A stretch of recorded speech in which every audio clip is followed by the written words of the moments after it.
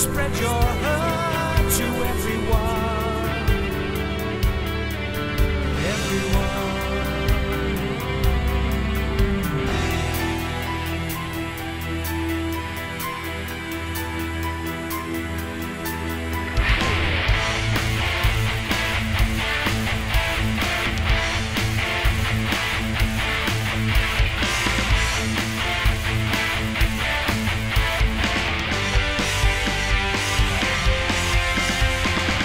fear struck into every heart.